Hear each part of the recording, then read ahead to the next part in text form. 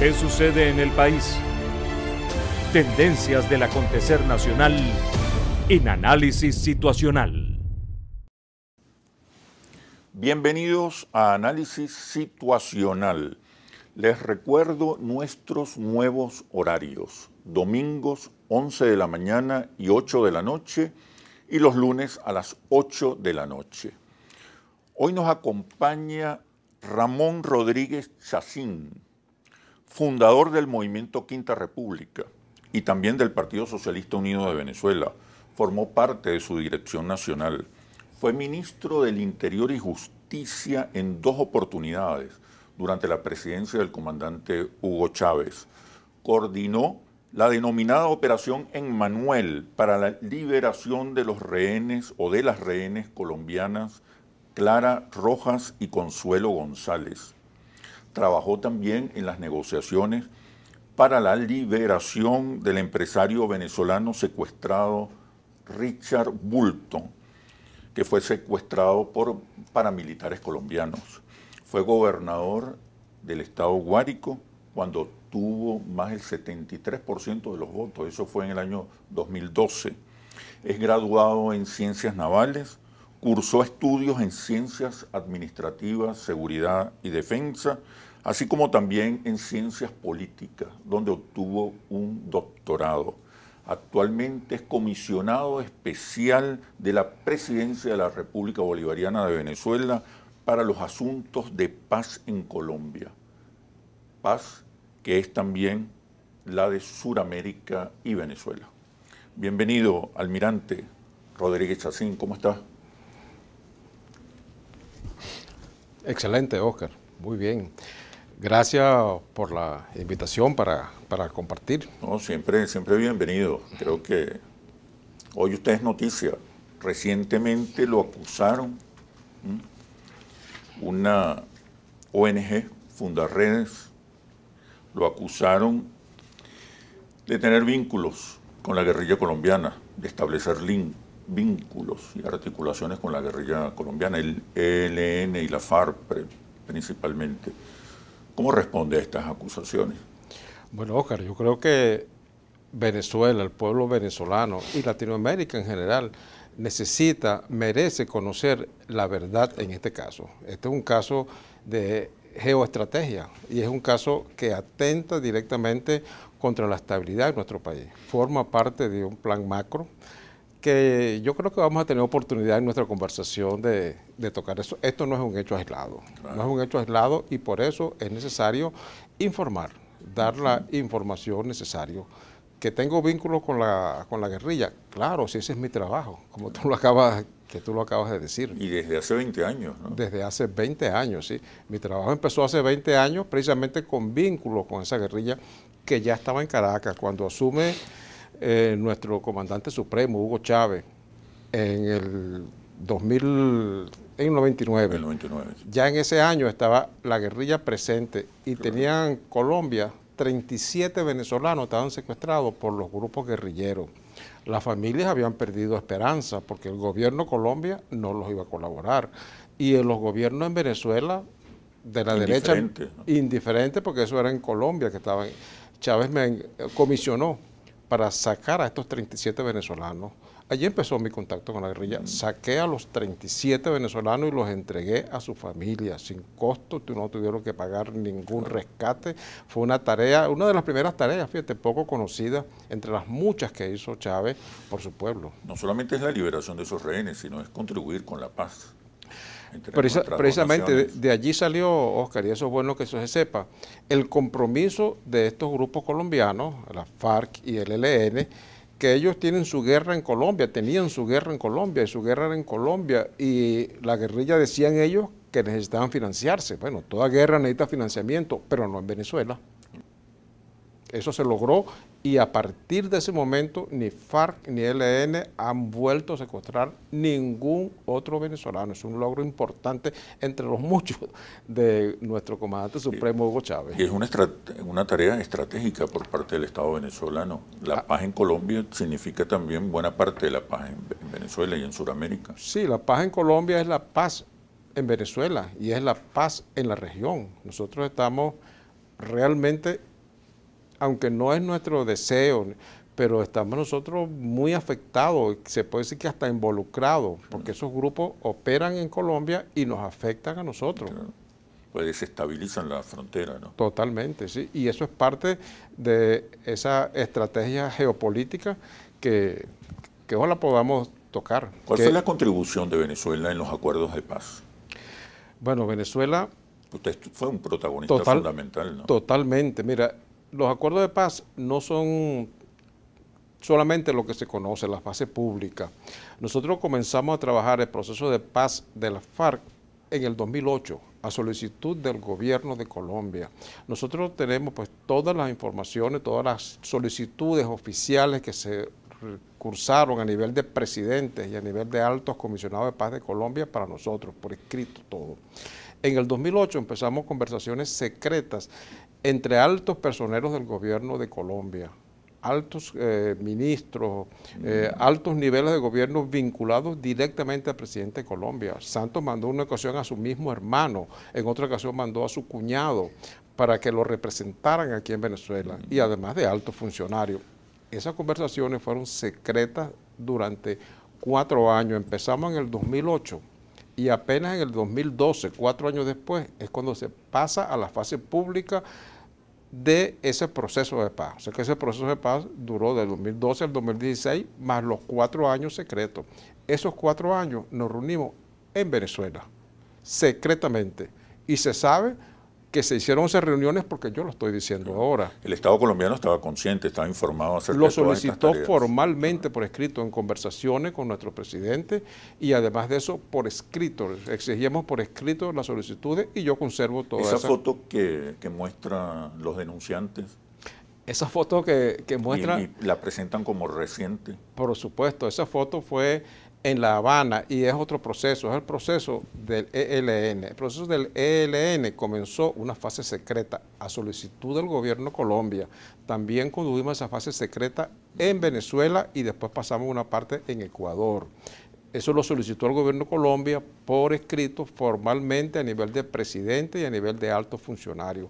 Estuvieron viniendo a Venezuela a tratar ese proceso secretamente, luego incorporamos nosotros a solicitud de las partes del gobierno de Colombia y de la guerrilla, eh, incorporamos a representantes diplomáticos de varios países, Noruega, Cuba, Ecuador, y siguieron siendo secretas esas conversaciones, la mayoría de ellas en Venezuela. Los acuerdos que se lograron para pasar a la fase pública son conocidos como los acuerdos de Caracas. Entonces, todos estos comandantes que salen en esa foto y muchos más, tenemos fotos con ellos, nosotros como diplomáticos venezolanos, representantes de Venezuela... ¿Se acostumbra a tomar fotos de esas reuniones como constancia? No, es mucha costumbre, pero en ah, esas reuniones sí tenemos fotos, estuvieron ya en la fase abierta, fotos, eh, esas fotos, por cierto, que publican son de la fase abierta. En esa fase abierta estuvieron representantes del clero, del episcopado colombiano, de la ONU, de la Organización de Naciones Unidas, tenía su representante allí también. Eh, la comunidad europea, los países europeos tenían representantes amigos del proceso que se acercaban y hay fotos con ellos y con, la, y, con la guerrilla, con los miembros de la guerrilla. Tenemos fotos en palacios presidenciales con los presidentes de la República, con miembros de esas delegaciones y nosotros. Eso, se, eso es un asunto estratégico que trataban de, se trataba de acuerdo con, con diferentes países. ¿Qué pretende esta ONG Fundarredes y su director Javier Tarazona, ¿qué pretenden con estas acusaciones infundadas? ¿Qué plan hay detrás de estas acusaciones? Pero por favor me responde cuando regresemos de los comerciales. Ya venimos. ¿Qué sucede en el país? Tendencias del acontecer nacional en análisis situacional. ¿Qué sucede en el país? Tendencias del acontecer nacional en análisis situacional. Le preguntaba, almirante, ¿qué pretende esta ONG, el señor Javier Tarazona, con estas acusaciones infundadas? Bueno, eso forma parte... Manipuladas, eh, sí, descontextualizadas. Eso, eso forma parte de un contexto más amplio, de un contexto geopolítico. Eso forma parte de los planes de dominación del imperio norteamericano que lo ejerce acá en Venezuela a través de Colombia. El gobierno de, Colombia es una ficha del gobierno colombiano. Tanto que Estados Unidos, en sus planes de, dominación, tiene fronteras móviles, llaman ellos, eso es parte de su doctrina. Esas fronteras, móviles de los Estados Unidos, ellos consideran que Venezuela es una amenaza contra su proceso de gobierno y de dominación en el mundo. Contra su seguridad nacional. Su, seguridad nacional, no porque nosotros podemos compararnos con ese gigante que son los Estados Unidos, económica, militarmente, sino porque el ejemplo que nosotros damos de ser un país libre, de ser un país independiente, de ser un país que ejerce su soberanía, eso no es conveniente. También el petróleo, las riquezas que nosotros tenemos, el gas, esas riquezas son necesarias para ellos sostener su sistema de vida. Entonces usan esa cabeza de playa, es más que una cabeza de playa, es un territorio con su gobierno aliado de los Estados Unidos, históricamente lo ha sido así, usado para propiciar desestabilización en Venezuela. El objetivo es recuperar a Venezuela como parte del área de influencia de los Estados Unidos, ¿no? Ese es el objetivo estratégico. Y, y los recursos de Venezuela. Y los recursos, la, riqueza que tiene Venezuela. Entonces, estos señalamientos que hace, pero de una manera, en, verdad, sin tomar en, sin, sin, ninguna seriedad, forman parte de, de, ese plan. Esas fotos, como te decía, pues son totalmente justificadas y tenemos fotos de todo tipo con funcionarios altos diplomáticos, incluido Colombia, de eso. Pero en este momento estamos en un cambio de estrategia de los Estados Unidos para con Venezuela. La estrategia normalmente de los partidos republicanos, una estrategia dura, el caso de Trump, que fue representante, ha dado representante de esa, eh, de esa línea política de los Estados Unidos, fracasó, que era crear en Venezuela violencia, mediante la violencia, ellos lograr sacar a este, a este gobierno y este sistema de gobierno que el pueblo venezolano se ha dado. Eso les fracasó. Ellos lo están reconociendo ahora con todas sus palabras abiertamente que fracasó. Están en un cambio de estrategia. El cambio de estrategia es primero por el fracaso que han tenido ellos y segundo porque entra un gobierno demócrata, que es otra forma. son los mismos objetivos, no cambian, no nos llamemos engaño siguen considerando que Venezuela, que Cuba, que Nicaragua, que los países que quieren ser libres son amenazas para ellos. Sus mismos objetivos, pero tienen otra forma de hacerlo. Entonces, pareciera, pareciera que ellos están buscando ahora crear inestabilidad dentro de Venezuela con otros métodos. Y estas acusaciones forman parte de esa estrategia. Estas acusaciones engranan perfectamente dentro de este sistema. De desasosiego, intranquilidad. Sí, porque no son, no son aisladas. Vamos a recordar lo que nos informaba nuestro presidente de Asamblea Nacional, Jorge Rodríguez, ayer. Eso es un solo plan que está encuadrado y no estoy hablando de efectos hipotéticos. Yo trabajo en ese tema, he estado 20 años trabajando en, ese tema. Eso está vinculado a ese ataque paramilitar que hicieron en el estado Apure. Esos grupos paramilitares está vinculado a este esquema que propone y que lleva adelante el gobierno de Colombia está vinculado a las bandas armadas que tenemos en algunos lugares de Venezuela. Esas bandas entran dentro de los planes norteamericanos. Como fuerzas paramilitares. ¿no? Como fuerzas paramilitares. Y, no lo están inventando ni, aquí en mm. Venezuela. Ya lo hicieron en Siria, ya lo hicieron en el Líbano, ya lo hicieron en Libia, ya lo hicieron en Irak. Y en, hasta en Vietnam, pues si nos vamos a remontar más lejos, pero eso tienen ellos ya doctrina escrita, tienen manuales de procedimiento de cómo hacerlo. Entonces, en Venezuela tienen tiempo ensayándolo. Estas bandas armadas son financiadas por los Estados Unidos a través de esa ONG en unos círculos perversos. Tanto los nuevos, puedo poner algunos ejemplos desde los años 70, ah, 80. Todos los venezolanos seguramente recordamos a Oliver North, ese sistema Irán Contras, donde ellos traficaban con drogas, los norteamericanos, la DEA, traficaban con drogas para financiar un apoyo que estaban dando a una facción dentro de Irán. Y al mismo tiempo revertían el dinero de las ganancias del tráfico ilegal de armas, de tráfico de drogas y lo invertían en Nicaragua cuando estaban los contras nicaragüenses, Eden Pastora, el comandante Cero, que eh, funcionaban contra a esa revolución nicaragüense. Eso es un modelo, o sea, eso es un ejemplo de este modelo que es una práctica consuetudinaria de los Estados Unidos. Aquí en Venezuela estamos hablando de los grupos paramilitares que son esos ampones. Esos ampones ellos los preparan y en poco tiempo los pudieran tener simulando que es un ejército venezolano. Fíjate, cualquiera de seguridad diría, bueno, aquellas fincas de Actaria, aquellos paramilitares, ¿cómo 20 paramilitares van a tumbar un gobierno? No, no son 20 paramilitares. Ellos pueden, de una manera rápida, con sus planes, crear desasosiego en todo el país, uniformar a miembros de esas bandas y hacerlo ver que son como lo han hecho en, en otros países. Yo tengo prueba de que en los ataques del Alto Apure, y parte en el Bajo Apure también, por ese grupo paramilitar. Hay que tener muy claro que ese Frente 10 Martín Villa es un frente paramilitar. Eso no es ni siquiera de las viejas FARC. Su jefe, Arturo Páez, se llamaba Jerónimo. Jerónimo fue un comandante de la FARC que desertó y se llevó dinero y recursos y luchó contra la misma guerrilla, se metió con los paramilitares, aliados con los paramilitares, es objetivo y era objetivo de la guerrilla para fusilarlo por desertor y por traidor. Estuvo preso, 14 años duró preso en los pabellones de paramilitares, en las cárceles de Cómbita, en la cárcel La Picota, donde había pabellón de paramilitares y pabellón de guerrilleros. Ese Arturo Paz estaba con los paramilitares, era vocero de, los paramilitares inclusive, y al gobierno de Colombia lo saca con una manera fraudulenta cuando comienzan a liberar en el proceso de paz de la FARC, empiezan a liberar a guerrilleros, fue parte de los acuerdos, allí sacaron escondido, como haciéndolo pasar por guerrillero, siendo más bien un objetivo de los guerrilleros, Arturo Páez.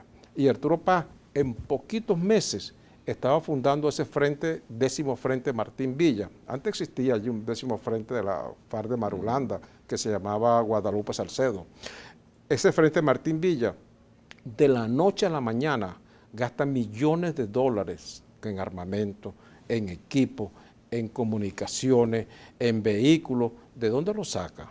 ¿De dónde, saca, ¿De dónde sacó Arturo Paz? Y la izquierda, hasta la izquierda colombiana, bueno, lo que se llama izquierda colombiana, esa izquierda colombiana rechaza totalmente a Arturo Paz. Y digo izquierda porque ayer, ya, ese es otro, otro tema que no voy a entrar Hay como una dimensión militar o paramilitar que intenta desestabilizar, desinstitucionalizar, generar rupturas, desasosiego dentro de las Fuerzas Armadas, incluso alimentar una eventual explosión social. Pero ¿cómo quedan los procesos electorales que también están respaldando o está respaldando en este momento la nueva administración norteamericana. Pero me responde por favor cuando regresemos de los comerciales. Ya venimos. ¿Qué sucede en el país? Tendencias del acontecer nacional en análisis situacional. ¿Qué sucede en el país? Tendencias del acontecer nacional en análisis situacional.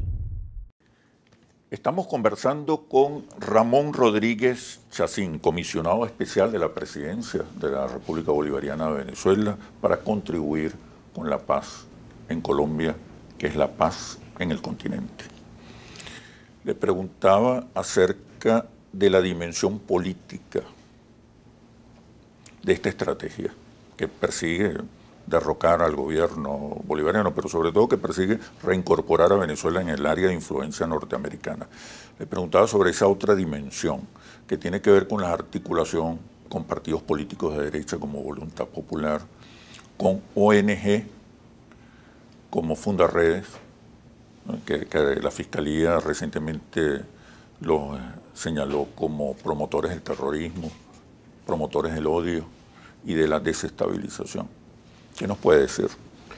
¿Cómo encaja la estrategia militar con la estrategia electoral eh, ciudadana que pretenden estas ONG?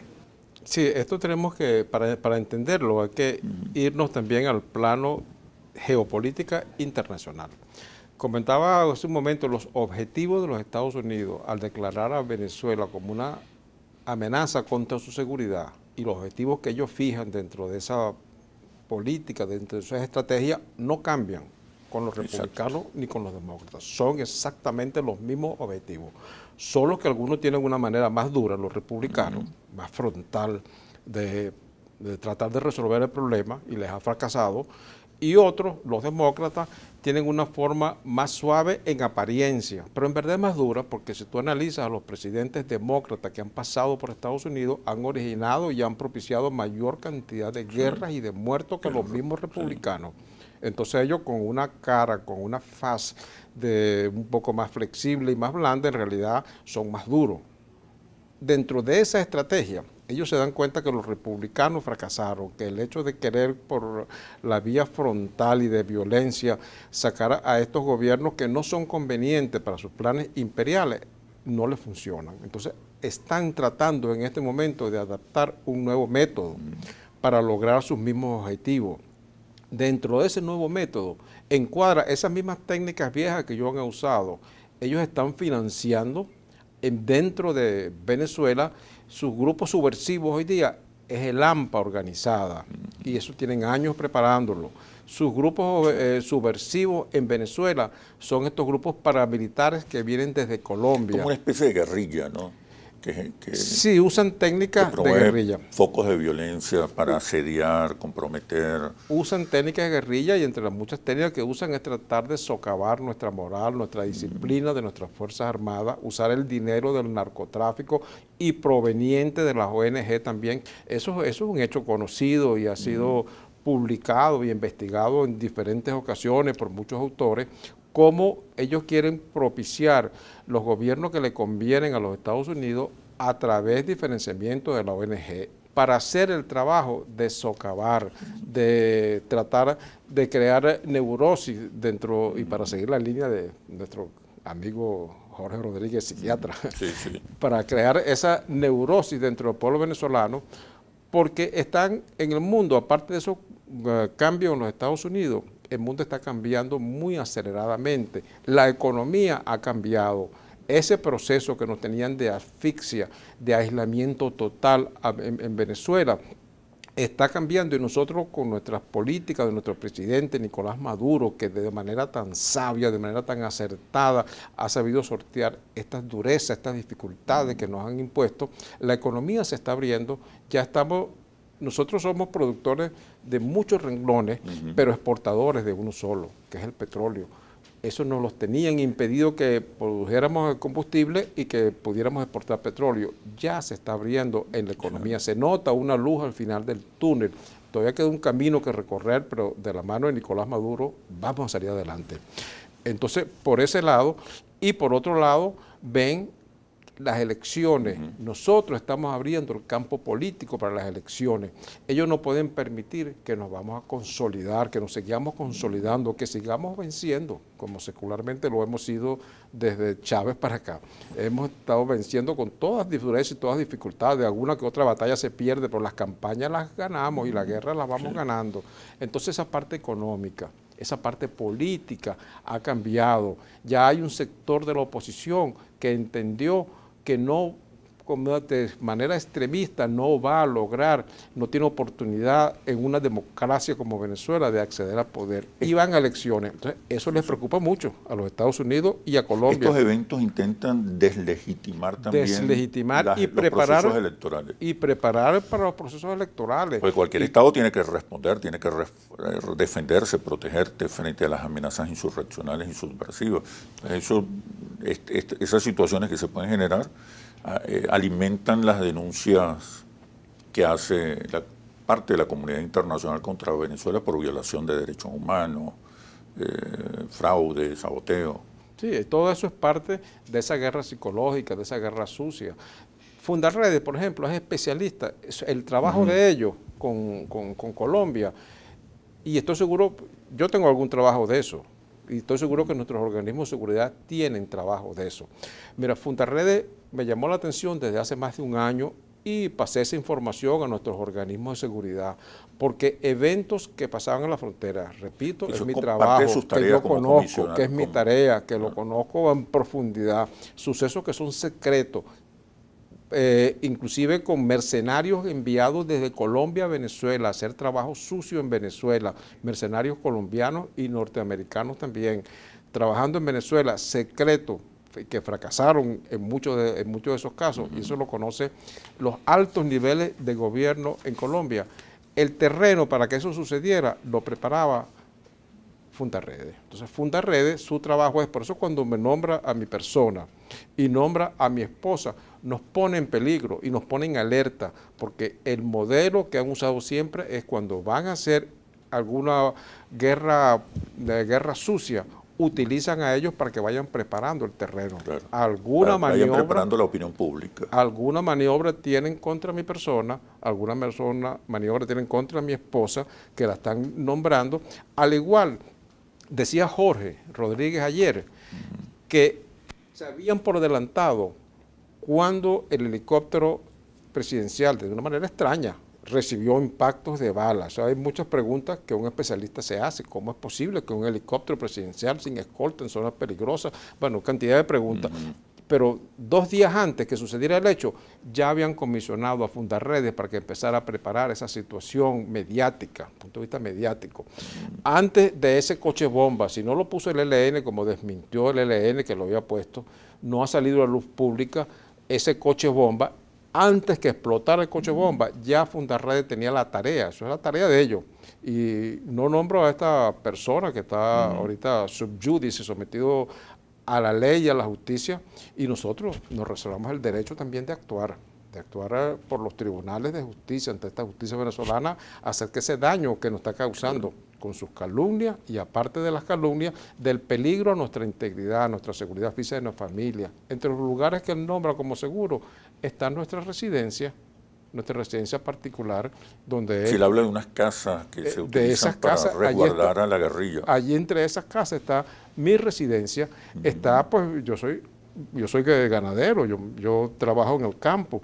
Está también una finca nuestra también, que, que, la pone como residencia en lugar de los guerrilleros. Yo, esas son investigaciones que se han hecho y se van a seguir haciendo, y allí nunca han estado guerrilleros, por cierto. Jamás, en ninguno de esos sitios. Los sitios que me he reunido nunca han sido los sitios particulares y, privados míos. no solamente la fundación, también algunos partidos políticos de derecha. ¿Qué papel juegan estos partidos políticos como voluntad popular en esa estrategia? Pero por favor me responde cuando regresemos a los comerciales. Ya venimos. ¿Qué sucede en el país? Tendencias del acontecer nacional en análisis situacional. ¿Qué sucede en el país?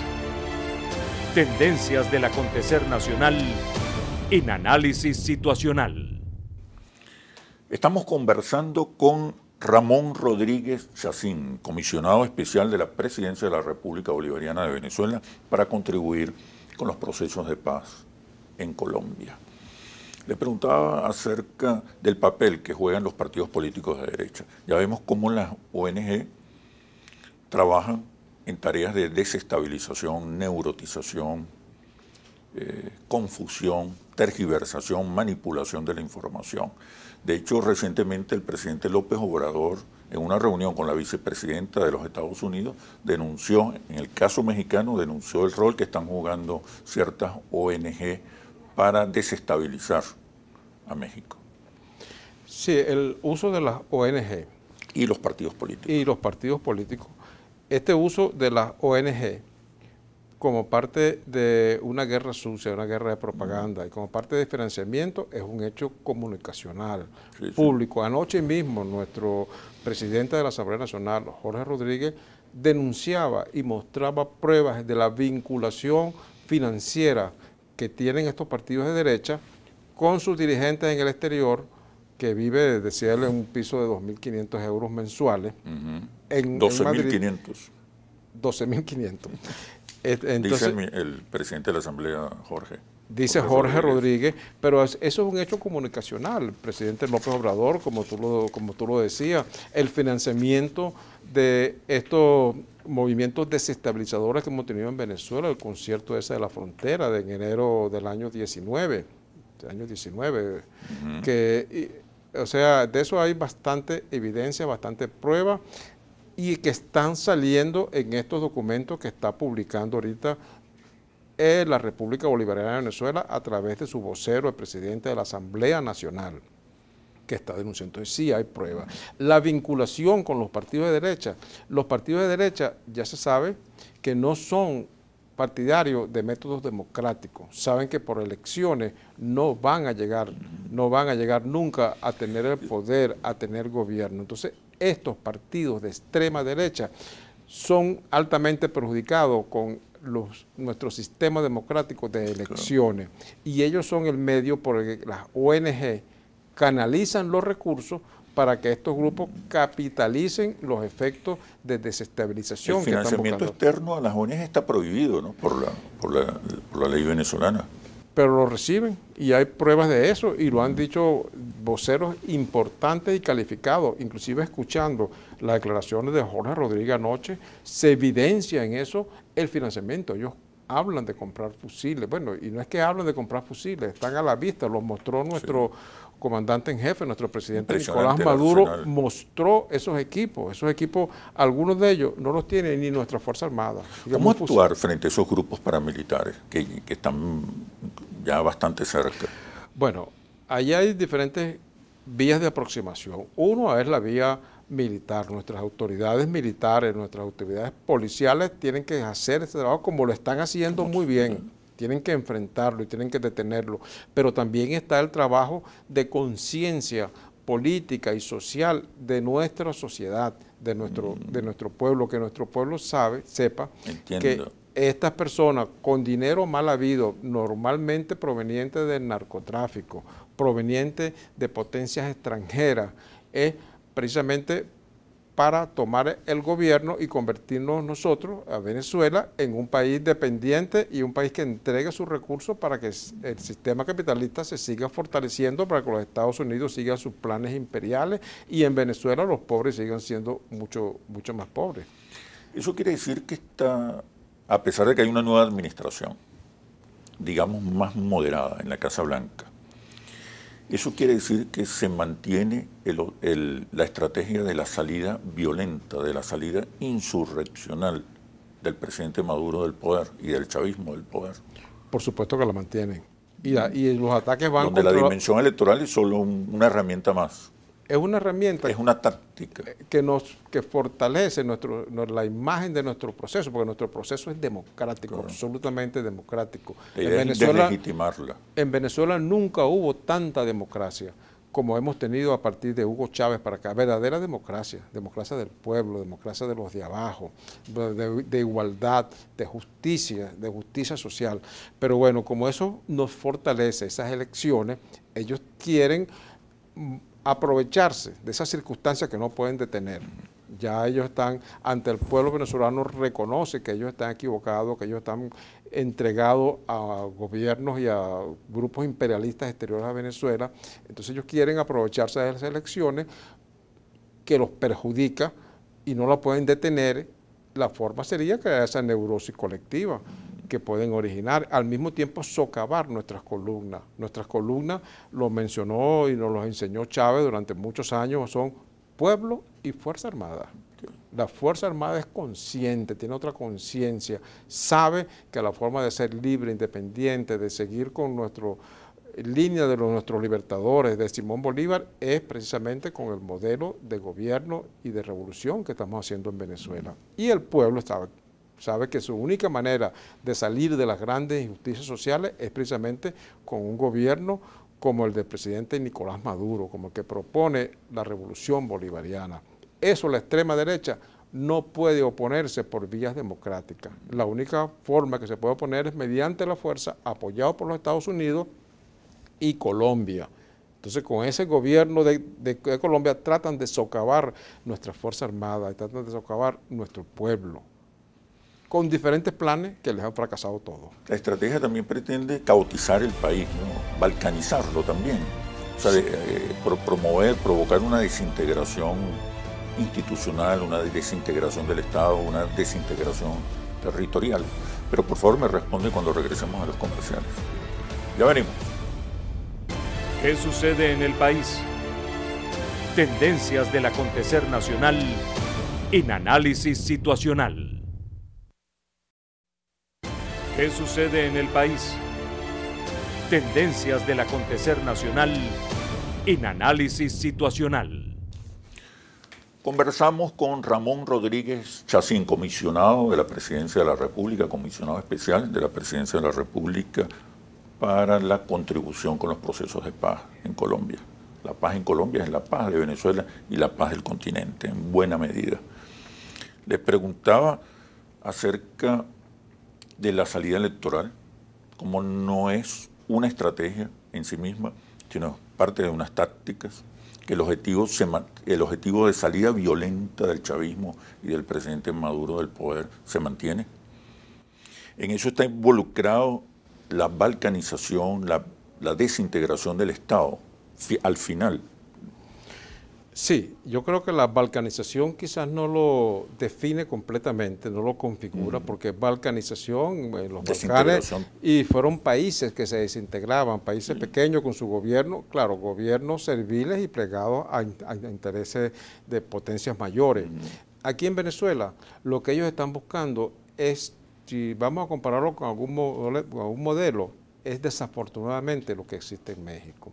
En México hay estados completos, departamentos completos, donde no existe autoridad, donde ellos tienen las bandas narcotraficantes financiadas por los Estados Unidos, aceptadas por los mismos Estados Unidos, que las han equipado con armamento, con, dinero. Y digo Estados Unidos, las agencias oficiales norteamericanas, la DEA a la cabeza.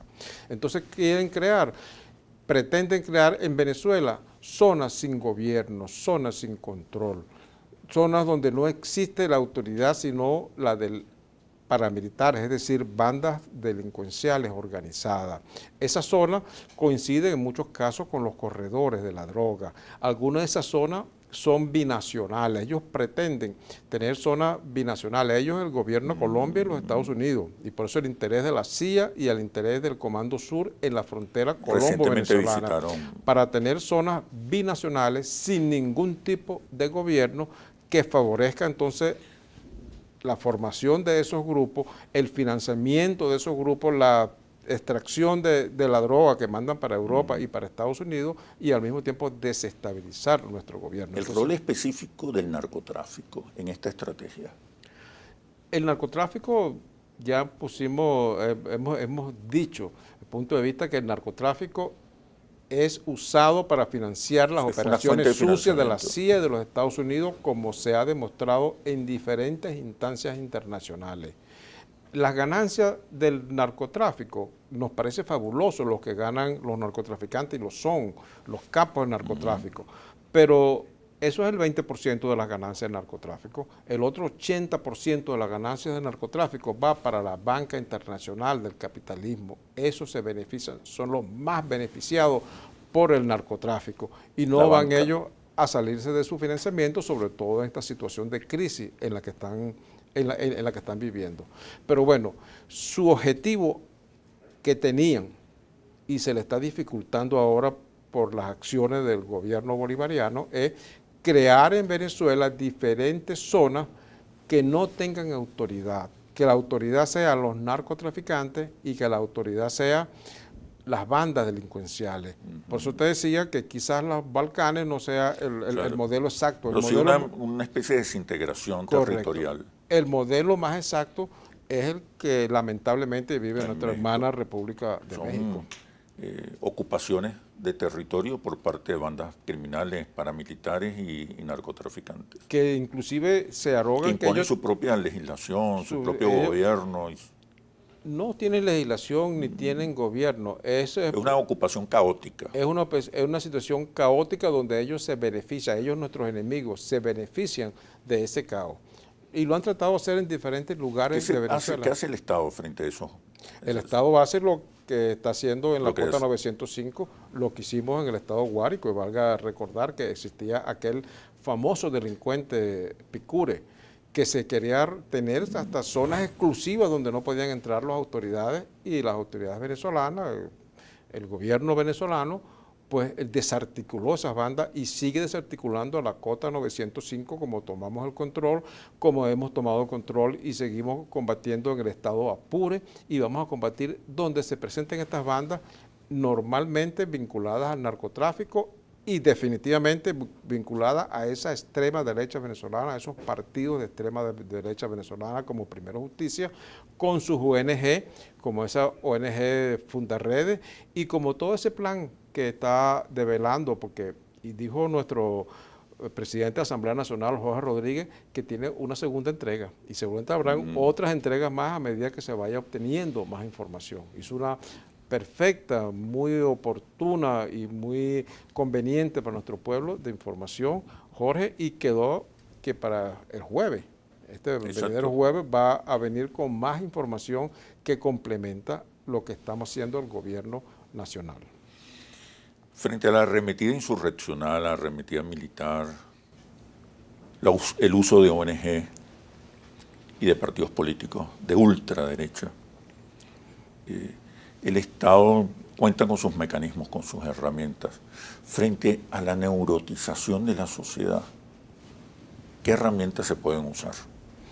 Frente a la neurotización, que es un proceso permanente y que se acumula, no lo puedes resolver con contrainformación o con otros relatos, sino que se acumula en el espíritu de la sociedad.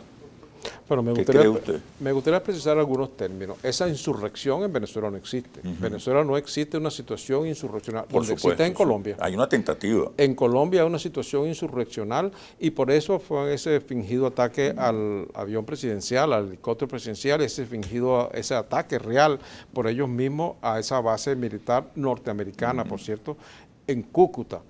Eh, en, en, Venezuela no existe esa situación, Colombia sí la tiene. Exacto en Venezuela ellos pretenden socavar nuestra disciplina, nuestra moral, nuestra unidad a través de nuestro espíritu nacional, creando situaciones con propaganda y contrapropaganda, esa es la función de contra Como esta ONG, por ejemplo. Como esta ONG. Que incita al odio. Esta ONG que hemos comentado, que incita al odio entre los venezolanos, que crea noticias falsas, que trata de engañar a nuestro pueblo.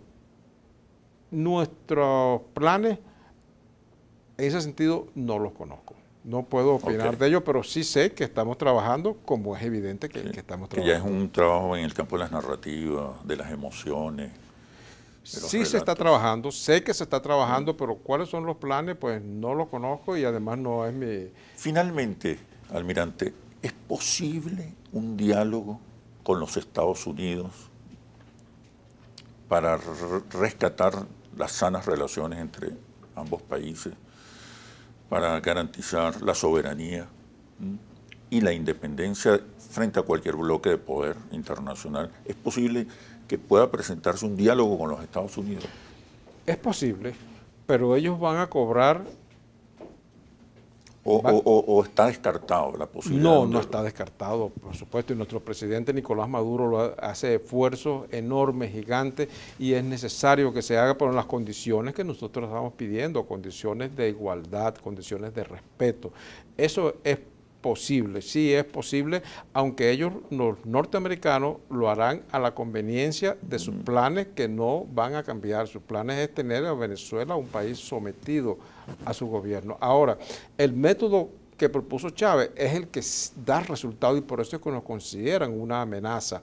Estoy hablando de Mercosur, estoy hablando del ALBA TCP y estoy hablando de estas organizaciones multinacionales latinoamericanas y mundiales también. Ese es el método que precisamente el gobierno de Estados Unidos le teme y por eso su odio hacia el presidente Chávez. Ellos querían... Pero también en los Estados Unidos hay cambios positivos, hay cambios importantes, hay unos movimientos sociales, ¿eh? hay un, discurso relativamente progresista en algunas autoridades. Sí pudiera cambiar y sí tiende a cambiar. Habría que apostar también. Pero la psicología del pueblo norteamericano no es precisamente ir en contra de su, de su gobierno, a menos que sea desastre como lo de Vietnam, por ejemplo. Pero normalmente e, es un caso complejo, es un caso complejo la psicología social norteamericana.